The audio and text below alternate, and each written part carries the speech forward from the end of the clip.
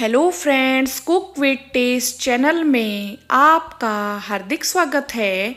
आज हम बनाएँगे मुंबई स्ट्रीट स्टाइल तवा पुलाव। ये बहुत ही कम समय में रेडी हो जाता है। तो आइए बनाना शुरू करते हैं। इसके लिए हम सात से आठ कम तीखी वाली लाल मिर्च ले लेंगे और इसे दो से तीन मिनट के लिए पानी में बॉईल कर लेंगे ताकि ये सॉफ्ट हो जाए। अब हम पुलाव बनाना शुरू करते हैं। कढ़ाई में थोड़ा सा कुकिंग ऑयल डालेंगे। ऑयल जैसे ही गर्म हो जाए, आधा छोटा चम्मच जीरा और आधा छोटा चम्मच सरसों डाल देंगे। अब हम इसमें बारीक कटा हुआ प्याज डाल देंगे और प्याज को भून लेंगे।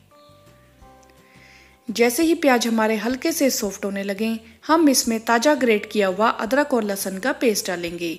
ये मैंने ताज़ा ग्रेट किया हुआ है। अगर आप लहसन नहीं खाते हैं तो इसे स्किप भी कर सकते हैं, लेकिन लहसन डालने से पुलाव में टेस्ट बहुत ही बढ़िया आता है। प्याज के साथ हम इसे भूनेंगे।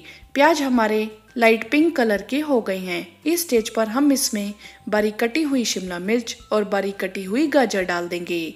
उबले हुए थोड़े से मटर डाल देंगे और मिक्स कर देंगे। सब्जियों को हमें बहुत ज़्यादा नहीं पकाना है, इन्हें क्रंची रखना है। क्रंची सब्जियों का टेस्ट पुलाव में बहुत ही बढ़िया लगता है। अब हम इसमें बारीक कटे हुए टमाटर डालेंगे। ये मैंने दो मीडियम साइज़ के टमाटर को बारीक कट किया हुआ है। मिक्स कर देंगे। अब हम इसमें मसाले डाल देते हैं। स्वादानुसार नमक डालेंगे ताकि टमाटर हमारे जल्दी से सॉफ्ट हो जाएँ। आधा छोटा चम्मच लाल देगी मिर्च पाउडर डाल देंगे। इससे पुलाव में कलर बहुत ही बढ़िया आता है। यह तीखी बिल्कुल भी नहीं होती हैं। और डेढ़ छोटा चम्मच हम इसमें पाव भाजी मसाला डाल देंगे। पाव भाजी मसाला डालने से पुलाव में टेस्ट बहुत ही बढ़िया आता है। जिन मिर्चों को हमने बॉईल किया था, उसे भी मैंने दरदरा पीस लिया है। उसका पेस्ट भी हम इसमें डाल देंगे। ये मैंने एक छोटा चम्मच पेस्ट इसमें डाला है। आप अपने टेस्ट के अकॉर्डिंग डाल सकते हैं। मिक्स करेंगे। थोड़ा सा हम पानी डाल देते हैं, जिससे कि थोड़ी सी सब्ज़ियाँ हमारी सॉफ्ट हो जाएँ।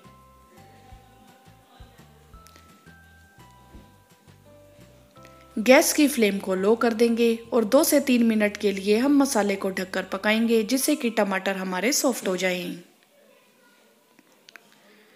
दो से तीन मिनट हो गई हैं। ये देखिए फ्रेंड्स, टमाटर हमारे सॉफ्ट हो गए हैं। कितना बढ़िया हमारा मसाला बनकर रेडी हुआ है।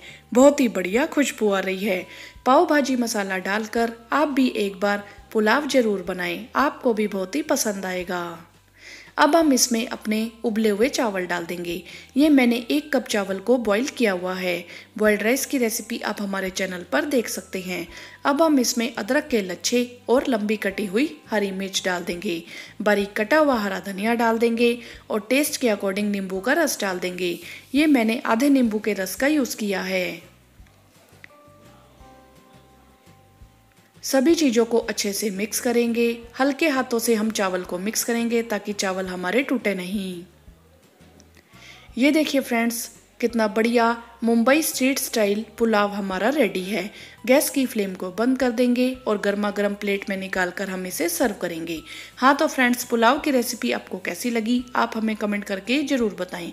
वीडियो को लाइक करें शेयर करें और चैनल को सब्सक्राइब भी करें। Thanks for watching goodbye